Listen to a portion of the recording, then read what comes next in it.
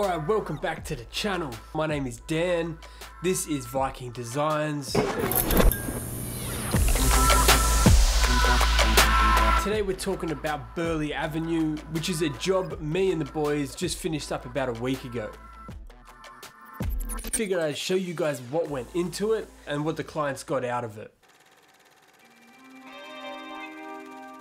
Basically, I went to a site meeting and the clients explained to me that they have this empty little pocket in the back corner of their yard. They were thinking maybe they want to put in like a deck or some paving, potentially like a spa, jacuzzi type thing uh, with a pergola. They also wanted to move the glass because it was sort of really boxing in the pool. So I went away from this site meeting, drew up a few things, sent over a few photos so I could figure out where they were at. So time for the trusty old tablet. Now I found this photo online. I sent this photo to our clients. They were really into it. They really liked that diffused light sort of look. Everything painted white and looking crispy and... Alright, so what I sometimes like to do is go to Google Earth and if it's the type of job that's outdoors like this one was, then I can get a lay of the land, I can see where the pool is, um, and, and it just gives me a really good bird's eye view. So I went to Google Earth, snapped this little screenshot that you guys can see here, and this is sort of showing you what we were working with. Okay, so this is the basic backyard layout. You've got your pool area just here, all right, just zoom in a bit here. I know it's blurry as, you still get the gist. That is the pool. Now the glass currently runs along the front here and then it does a 90 degree turn. What we were thinking was to remove the glass from here. This is the area that we have to work with. This is our corner. All right, so first things first, in our local area, they say you can't build right up on your boundary. You need to stay 900 millimeters off your boundary. So we decided to use that area for a garden bed. So 900 millimeters all the way down here and 900 millimeters all the way down there. That is all going to be beautiful tropical garden.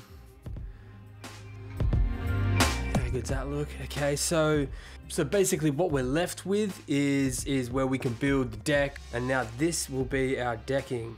Then the idea is to stick the spa, hot tub, jacuzzi, whatever you call it, in this corner. And then we can build our pergola, throw some beams up and then do the pergola over the top of the deck. Throw some battens on top of that and you can kind of see what we are trying to achieve here. Now, once we get this deck and this pergola done, then we're gonna bring our glass straight across the front here. So we're just gonna have one long run of glass all the way across the front. That is really gonna link the areas between the pool and the spa. So now you're gonna have a really nice flow from your pool to your spa. Your spa's put behind the glass, so it's good for compliance issues.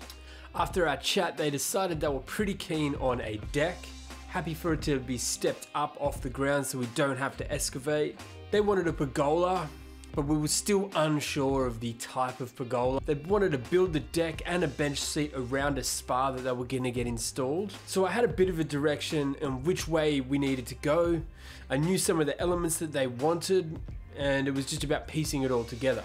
Now just here is our deck layout. It's going to allow this new structure to be completely wrapped, giving them some nice privacy and also adding to that tropical feel that they're sort of going for. Now for this project, the clients wanted to go with Merbau decking, which is an Indonesian hardwood. It's actually the first one we've done in quite some time.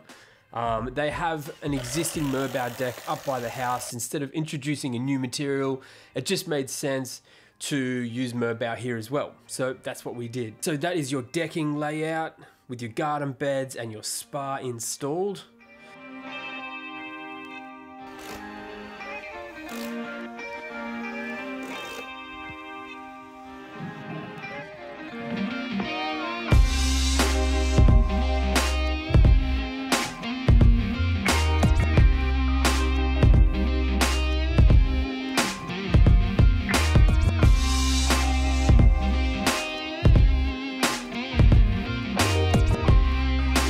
Then this here is the pergola layout.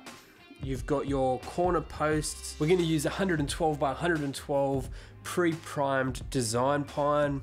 And then we've got our beam at the back, our beam at the front, and then our rafters. Roughly 800 millimeter centers. And then on top of the rafters, you're gonna have the 66 by 19 millimeter battens. And that's what's gonna create that look, that diffused light, um, which is gonna be super nice on a sunny day.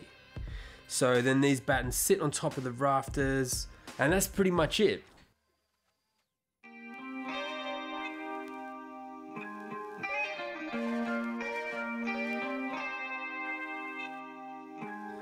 Once we got all the posts, beams, rafters and battens on, then it was a massive amount of painting to make it all look that really nice crisp white. Well worth the effort though, it turned out beautifully. Alright guys, and that is Burly Ave. It was a pretty simple little job. We wanted to get it in before Christmas for these guys so they can enjoy it over the summer holidays. Let me know your thoughts. You guys digging the design? I know I do. I wouldn't mind that in my backyard. Leave a comment down below and if you guys haven't subscribed already, would really appreciate it. Thank you so much for watching and yeah, we'll see you in the next one.